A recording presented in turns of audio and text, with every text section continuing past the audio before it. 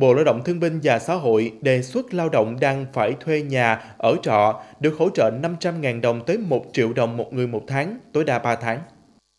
Đối với lao động đang làm việc trong doanh nghiệp, Bộ đề xuất hỗ trợ 500.000 đồng một người một tháng, tối đa 3 tháng. Điều kiện là lao động làm việc tại các khu công nghiệp, khu chế xuất, dùng kinh tế trọng điểm đang thuê trọ từ ngày 1 tháng 1 đến ngày 30 tháng 6 năm 2022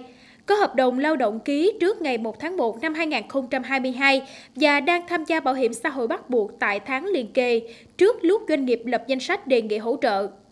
Đối với người quay trở lại thị trường lao động, chính sách hỗ trợ 1 triệu đồng một tháng một người, tối đa 3 tháng – Điều kiện là lao động làm việc trong khu công nghiệp, khu chế xuất dùng kinh tế trọng điểm, đang phải ở nhà thuê, ở trọ từ ngày 1 tháng 1 đến ngày 30 tháng 6 năm 2022, có hợp đồng lao động từ 1 tháng trở lên và thời điểm ký ngày 1 tháng 1 đến ngày 30 tháng 6 năm 2022 đang tham gia bảo hiểm xã hội bắt buộc hoặc có tên trong danh sách trả lương của doanh nghiệp tại tháng liền kề trước thời điểm đề nghị hỗ trợ.